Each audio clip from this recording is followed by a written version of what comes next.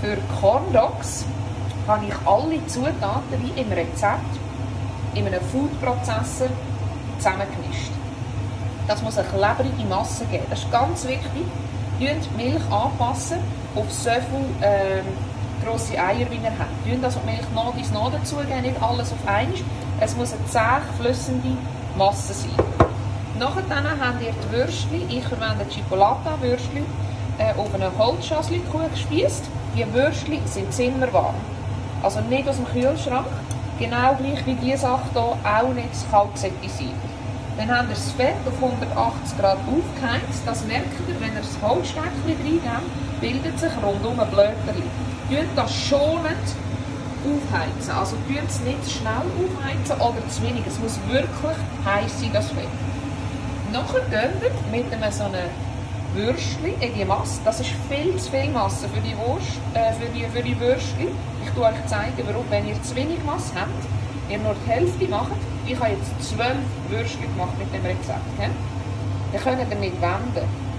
Wichtig ist, dass ihr könnt wenden und dann während dem rauskommt, ihr so drehen. Dann geht ihr ins heiße Fett, einmal rundum drehen, zweimal, dreimal dann tun ihr es liegen lassen. Dann könnt ihr das nächste machen. Jetzt ist es angezogen.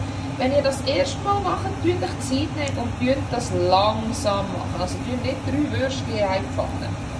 Die Idee wäre, dass die Mantelung so zugeht und sich nicht verreissen. Wenn es euch aufreißt, kann ich euch schnell eins zeigen. Wenn es so aussieht, oder noch schlimmer, dass man das Würstchen sieht, dann ist das Fett noch nicht zu wenig heiß. Das ist das erste Würstchen bei mir. Ich verwende in meinem Rezept Polente, die ich in meinem Foodprozessor fein male. Wenn ihr keinen Foodprozessor habt, wir brauchen für das aber keine so überteuerte Hochleistungsmaschine, da könnt ihr auch einen Cutter haben oder sonst etwas. Probiert es mit Polenten aus, die fein malen. Und wenn ihr keine Polenten habt, die ihr könnt fein malen oder schon fein kaufen dann tut Maismehl nehmen. Achtet euch bei beiden Zutaten, wie immer, wenn es um Mais geht, dass es aus der Schweiz stammt, weil es gibt in der Schweiz wunderbare Maisproduzenten.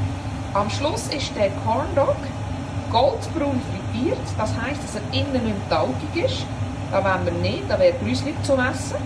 Und dann könnt ihr es so auf einem Haushaltspapier abtropfen. Und nachher stellen sie auf, die, die schon fertig sind, stelle ich auf. Man kann die vor dem Kochen, äh, vor dem Essen, Entschuldigung, excuse, frisch machen. Das ist am besten. Man kann sie aber auch im Ofen warm halten. Ganz wichtig, der Ofen darf nicht zu heiß sein, sonst jagt es euch die Maisummantelung auf, weil das Würstchen tut, äh, sich ausdehnen. Und das wäre sehr, sehr schade. Also am besten frisch, können aber auch vorkochen und nachher sie im Ofen warm machen. Oder nochmal kurz im Fritteuse schauen, dass das Fritösenöl, ich verwende hier Schweizer Raps, genug warm ist. Dann haben wir eine gute Qualität. Viel Freude beim Nachmachen und dürft mich gegen, wenn ihr es austestet.